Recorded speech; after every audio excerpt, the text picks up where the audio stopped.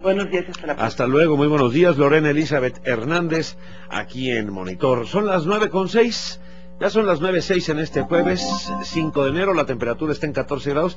A ver, no sé si pudiéramos ver el Popocatépetl, a ver si tenemos la imagen que nos pudieran ofrecer nuestros compañeros de producción, para todos aquellos que nos acompañan a través del canal 52MX y sobre todo para los amigos que nos siguen todos los días desde cualquier lugar de los Estados Unidos.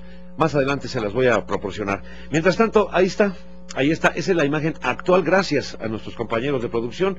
Esa es la imagen actual, la imagen que ahorita presenta Don Goyo.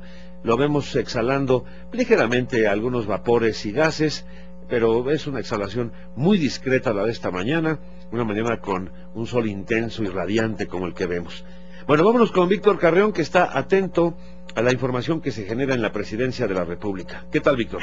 Enrique, ¿cómo estás? Gracias. Muy buenos días a ti y a todo nuestro auditorio de monitor. Esta mañana en el Salón Venustiano Carranza de la Residencia Oficial de Los Pinos, el portavoz Rubén Aguilar Valenzuela abordó fundamentalmente el tema de los cambios en el eh, gabinete de la presidencia de la República y reconoció que sin duda los ajustes que se anunciaron al principio de esta semana, en donde se menciona con mucha insistencia la renuncia Mm, de la secretaria Vázquez Mota, la secretaria Josefina Vázquez Mota, a cargo mm, de eh, la dependencia de desarrollo social, eh, algunas otras también de mandos medios, dijo que se han encontrado algunas dificultades y algunos problemas para hacer los amarres de conjunto y anunciar estos cambios. Sin embargo, Rubén Aguilar Valenzuela dijo que en el transcurso de las próximas horas, podría ser hoy jueves o mañana viernes, se daría ya a conocer este tipo de cambios.